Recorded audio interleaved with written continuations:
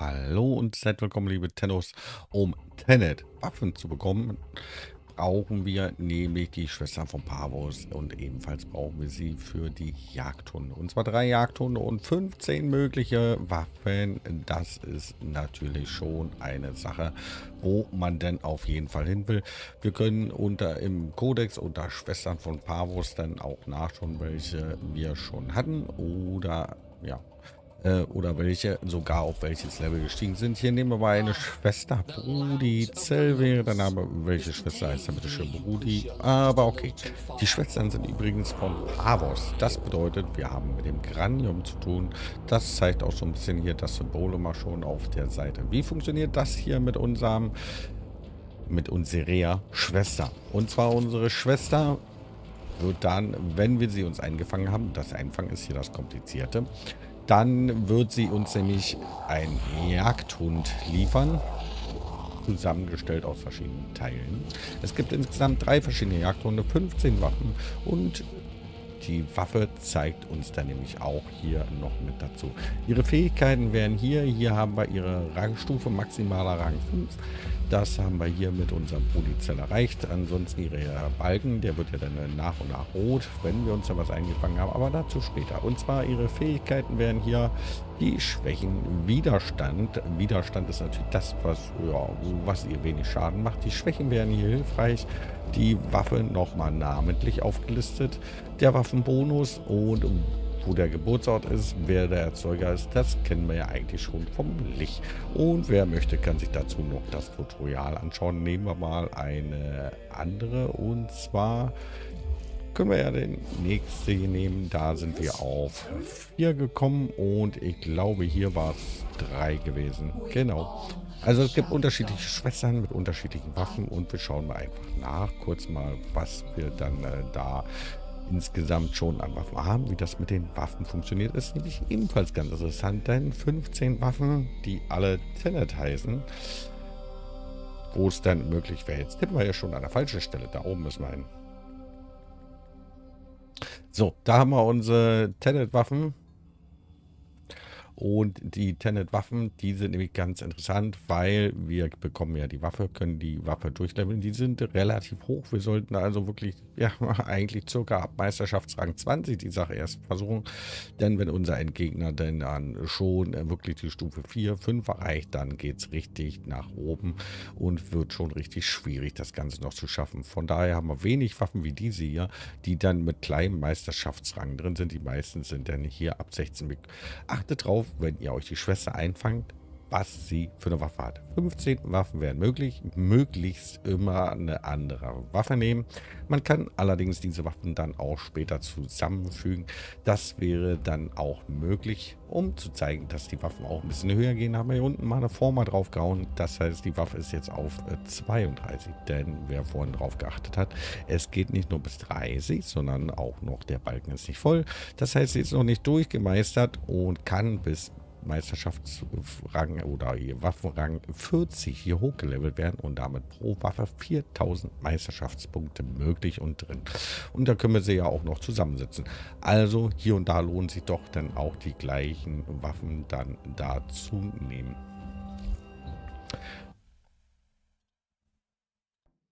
So, dann gehen wir mal kurz ins Arsenal und die eine haben wir hier quasi doppelt und das Ganze kann man hier machen. Valenzfusion nennt sich das und dann suchen wir uns die zweite Waffe aus und verbessern äh, den Schaden der Waffe auf, den Höhe, auf die Waffe, die höher ist, damit am Ende das eine plus das andere dann äh, je nachdem, die kommen ja aber mit unterschiedlichen Schadensvarianten raus, dann eben nach oben etwas, äh, ja, pushen können. So wäre der richtige Begriff. Also es lohnt sich auch, die Waffen doppelt zu haben. Aber naja, man muss nicht alles doppelt und dreifach haben. In erster Linie sollte man es ja darauf an, abziehen, dann alle 15 Waffen wirklich vielleicht zusammen zu haben. Jetzt kommen wir aber dazu, wie funktioniert das Ganze. Und zwar hier unten, das ist der Teil, der wichtig ist. Es gibt nämlich zwei Varianten, die wir haben können. Wir können uns eine Licht einfangen und wir können uns eine Schwester einfangen. So wäre das Ganze gut formuliert, würde ich mal sagen. Wir haben jetzt nichts und das ist das, was wichtig ist, weil ein Licht und eine Schwester gleichzeitig funktioniert nämlich nicht. Also, ihr solltet euren Licht, wenn ihr einen habt, dann ist ja hier unten das Symbol, fertig machen und dann können wir auch eine Mission suchen. Die Schwestern heißen Schwestern von Pavos. Pavos, was sagt uns das? das ist der Typ mit der goldenen Hand. Kann man auch, äh, vielleicht spielen wir das Video da nachher nochmal kurz ein oder wir rennen nochmal, das geht ja hier relativ schnell, nochmal hier einmal rüber und dann können wir nämlich hier drunten nämlich auch das Video quasi dazu ansehen. Die kannst nachher am Ende nochmal kurz mit einspielen. Da sieht man nämlich den Cranium Void und ja, den, das Ganze, was dazu gehört, beziehungsweise schon etwas von den Schwestern und den kleinen Trailer dazu. Also kleiner Vorgeschmack wäre das definitiv. Meine Favorite-Mission von den Corpus-Missionen. Wir müssen ja eine Corpus-Mission nehmen und wir brauchen den Cranium Void und wir brauchen den Cranium Void übrigens nicht irgendwie, sondern eigentlich möglichst vor dem Beenden der Mission. Warum? Weil wir brauchen danach noch Gegner. Das erste, was nämlich zu tun ist, hierfür, um sich eine Schwester einzufangen, ist, den Granium Void auf Stufe 1 zu bekommen. Das heißt, ihr müsst 25% der Gegner abmurksen, die sich im Granium befinden. Und das, äh, meine Freunde, das geht definitiv auch in der Mission Hydra hier definitiv relativ gut. Ob alleine oder mit mehreren im Granium einfach reinspringen. Wie schon gesagt, ab Meisterschaftsrang 20 ist auch der Granium hier definitiv möglich und da kommt man dann eigentlich, glaube auch äh, im Solo-Modus relativ gut klar. Favorite-Mission, wie gesagt, Hydra hier auf Planet Pluto. Es gehen aber auch andere. Und um zu sehen, dass auch das funktioniert, haben wir jetzt wirklich mal die Mission vorher beendet. Allerdings achtet drauf. Das ist diese goldene Hand.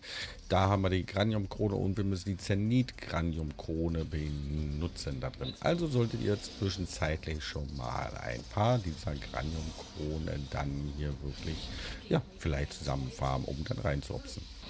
So, dann müssen wir uns im Granium selbstverständlich durchkämpfen. Ja, jetzt haben wir schon 63, insgesamt 100 Gegner. Wir müssen nicht alle abmurksen, es reichen auch 25. Aber der Teil ist wichtig, dass wir jetzt nämlich hier wirklich die Granium-Rang dann kommen. 64 Gegner in 1 Minute und 24 Sekunden. Dann nach dem Granium sollten wir weiter ohne schnell, auch da springen wir auch noch daneben, schnell viele Gegner, so viele wie möglich, dann hier killen und deswegen, wie gesagt, möglichst am Anfang. Und dann zeigt der Pavos uns die Nachricht an und wir können unser Ziel hier nehmen. So sieht das Ganze denn aus und dann bekommen wir da auch unsere Schwester noch die Mission beenden und dann haben wir schon alles Nötige erledigt, um sich diesen Teil einzufangen. Dann die Mission schnellstmöglichst beenden und dann kommt auch gleich unser kurzer Trailer, der denn da verrät, welchen oder welche Schwester wir denn uns eingefangen haben. Na, nun lecken wir hier etwas und äh, da haben wir ihn schon. Lania Oria. Den Namen sollte man sich dann merken, dann später in äh, den Folgemissionen können mehrere dieser Schwestern auftauchen. Das Ganze funktioniert wie bei den Lichtern. Und unsere ersten Missionen sind dann zu finden. Empfehlenswert immer Auslösungsmission. Achte drauf, da steht dann äh, höheres Level und äh, zu welchen Schwester das Ganze denn gehört. Wir müssen hier wieder unseren Parason, wir haben den Balken für aufgebracht, die Schwächen und den Geburtsort, alles nochmal mit eingeblendet. Wir müssen erstmal etwas bekommen von den Hunden. Und dann funktioniert das Ganze wieder so äh, wie bei den äh, ähnlich. Und zwar braucht man drei Kombinationen, ähnlich ein Zahlenschloss. Hier unten wird schon mal angezeigt, wenn denn der erste Reliquia-Mod äh, soweit äh, freigeschaltet wurde, dann sehen wir nämlich die erste Zahl schon. Wir wissen nur noch nicht, an welche Stelle sie kommt und das müssen wir dann nämlich nach und nach herausfinden. Wir haben ja unsere Reliquien-Mods, acht Stück an der Zahl, plus dann die Null, die ja wieder beides oder alle drei, acht praktisch möglich macht. Und dann müssen wir jetzt mal zwischendurch hier wieder Missionen machen. Ja, gehen wir mal rein. Wir befinden uns gerade in der Gruppe. Und da müssen wir dann nämlich diesmal Hunde Das heißt, der Begleiter, der kommt nämlich in der Zeit schon öfters vor. Und da ist auch schon, die Gegner sind ziemlich zäh und achtet drauf, äh, die klauen auch gerne mal die Waffen und dann mit dem Parason rausnehmen. Wir bekommen ebenfalls noch Reliquienpakete unter Umständen dazu. Und das Ganze bringt uns hier 10% Geflüster pro Hund dann also lohnt sich definitiv dann Gruppenmissionen anzunehmen, denn dann hat man nämlich mehr Gegner. Umso mehr Gegner, umso mehr Hunde sind dann am Ende auch da. Und da können wir nochmal auf den Parason. Wir bekommen dann nämlich hier immer mehr freigeschaltet. Das heißt, wenn der Kreis voll ist, dann ist es nämlich zu weit durch und das Symbol wird uns angezeigt. Und wir können unsere Reliquien-Mods dann auspacken, weil wir haben viel zu viele Sachen, die ja sonst möglich wären. Und wir können dann nämlich unser dann Parason äh, so modifizieren, dass er dann am Ende mit den drei richtigen Karten, die hier angezeigt werden, dann auch gut unsere Schwester dann besiegen kann. Dann steigt unser Licht nämlich immer weiter auf und wir müssen zum nächsten Planeten und uns die nächsten Missionen dann nämlich aussuchen, die da ja, für uns vielleicht die passenden oder die richtigen sind. So, ansonsten gibt es das hier noch und da können wir dann nämlich die, äh, ja, die Schwester oder unseren Licht dann je nachdem, was man gerade äh, von beiden äh, machen möchte, können wir sie sofort ranholen, aber das Ganze zu bekommen ist relativ, ja, eher selten. Das gibt es nicht mal zu 100 Prozent, so könnte man es nicht mal sagen. Und dann müssen wir nämlich probieren, bis wir die richtigen Kombinationen aus haben. Also in den ersten Missionen am besten wirklich dann, die ist aber auch 10 und vor allen Dingen achtet auf den Hund, klaut immer mit den Waffen. Ja, zweiter ist durch. Und dann müssen wir mal schauen, ob die dritte Konstellation dann noch hinkommt. So, da ist hin. Ja, auf der Karte alles ein bisschen verwirrend. Da ja ein Symbol. Oh, da haben wir den dritten noch nicht. Also müssen wir wieder Geflüster sammeln. Dann schubst uns runter und wir müssen, sie erhebt sich, ist im Rang aufgestiegen und dann werden wir sie beim nächsten Mal machen. Und zwar auf dem nächsten Planeten können wir sie nämlich besiegen. In dem Fall jetzt auf dem Jupiter bei 3, beim Rang Stufe 3. So, und diesmal haben wir es jetzt äh, dann hoffentlich unser Phrason richtig modifiziert. Ja, der ärgerliche Hund, den müssen wir hier erstmal weghauen, um dann an unsere Schwester hier reinzukommen. So, jetzt hat sie doch schon ein bisschen drauf und sollte relativ fix dann runtergehen. Zack, der nächste Versuch und jetzt sollte es dann nämlich passen, dass wir um die dritte Konstellation da fertig haben. Wo ist sie hin? Sie verschwindet immer. Das ist der etwas ärgerliche Nachteil. Da ist auch schon wieder so. Kriegt sie erstmal was drauf. Und jetzt entscheidet sich alles. Achtet darauf, dass bei den Mods hier schon ein Punkt abgezogen wird. Das heißt, wir brauchen diesmal zwei und damit haben wir auch unser letztes Reliquium-Geflüster freigeschaltet. Das ist definitiv gut und schauen wir mal dann gleich mal nach wir haben also alles soweit richtig gemacht, aber unsere Karte müssen wir dann jetzt nochmal drauf tun, um äh, dann unsere Lania Oria dann am Ende komplett besiegen können. Wir haben sie hier so durch und besiegt, allerdings ist jetzt da jede Mod, der nämlich nur diese drei Punkte verfügt und danach leer oder entwertet wird. Das heißt, wir müssen dann nehme ich, naja, neu wieder reinpacken, sonst können wir sie in dem Rest der Mission nicht ausrüsten. Wo ist sie dann zu finden, wenn wir das Ganze getan haben? Und zwar haben wir dann nämlich hier die Mission etwas rausgezoomt auf den Neptun ist dann Schwester von Pavos Konfrontation.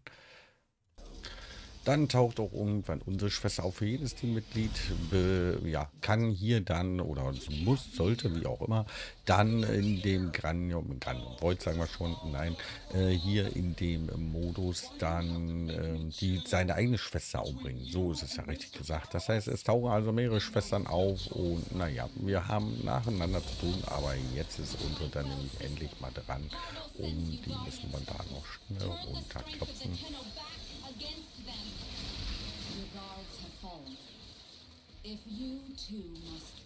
So, das Ganze geht diesmal fix und in einem Runde und wir haben nicht wieder drei verschiedene. Und dann haben wir es durch. Wir haben 20 Sekunden Zeit. Erst kommt der Text, da ist er. Konfrontieren nach links. Dann wäre das die Möglichkeit, sie nicht zu töten. Nach rechts ist töten. Kon vertieren bedeutet, dass unser, ja, unsere Schwester uns dann als hilfreich in Missionen mit unterstützt. Hier noch mal kurz, was wir da schon be bekommen, beziehungsweise wir bekommen immer die Teile von Hunden, plus eigentlich einen kompletten Hund dann selbst. Das ist doch definitiv, ja, jetzt sind alle schon raus, das geht hier relativ fix. Reliquium Ultimatum nicht zu 100% haben wir gesagt, aber ab und zu bekommen wir es. Das ist dann fürs zweite Mal nämlich sehr hilfreich. Damit können wir dann die Schwester oder den Licht dann ein zweites Mal rufen. So, dann am Ende der Mission, wenn wir durch sind, bekommen wir den kompletten Hund. Wie gesagt, dieser ist übrigens auch handelbar. Wir bekommen auch äh, die Waffe und das Emblem der Schwesternschaft. Das sollte eigentlich bei egal welcher Schwester übrigens schon mal da sein. So, mit der Waffe verhält sich das Ganze so in der Schmiede und sie ist sofort fertig. Ebenfalls ist der Hund fertig und zwar ja, der wird aus vier Teilen zusammengebaut. Das heißt, eine Mischung aus vier Teilen. Aber wir bekommen nicht nur diesen Hund, sondern auch äh, ja, Hundeteile zusätzlich. Denn der Hund, den können wir gleich so einsacken und mitnehmen. Wie gesagt, es gibt drei verschiedene Sorten an Hund. Und ansonsten den Rest kann man sich dann in auf der Venus dann selbst zusammen basteln. Falls man noch nicht über alle 300 verfügt, reichen vielleicht ja auch ein oder zwei aus, um sich dann einen dritten dann selber zusammenzustellen. Bahira, Heck und äh, da haben wir den Heck. So sieht der zum Beispiel aus und dieser ist jetzt äh, bei uns gedroppt und der besteht aus dem Kern. Das ist äh, der Jagdhund-Modell, sagt man, da gibt es drei und den Träger und den Stabilisierer. Und das Ganze können wir uns auf der Venus in Fortuna zusammenbauen. Dann sind wir auch durch mit dem ganzen Warum Mappel schwarz. Aber wir hatten gesagt, es kommt noch hinten dran äh, ganz kurz äh, der Trailer der Schwestern. Der ist nämlich äußerst interessant. Ich möchte mich bei euch schon mal fürs Zuschauen bedanken. Wer möchte, kann gerne ein Like da lassen, den Kanal abonnieren. Und jetzt halte ich meinen Sabbel, euer Remy. My brother was a witless man. Happy as a hog, face down in the trough. No thought of the farmer's axe. He was a brute above my asperous constitution. Yet he had not the will nor the guile to let me guide that brawn. So, in my youth, I often imagined I had another sibling, a specter of sorts, a sister. And in my mind, she and I, oh, how we would conspire. Great schemes, risk trades, rapacious plots. And should I ever find myself back at the trough, penniless, betrayed, rich only in enemies, she'd be at my side, axe in hand.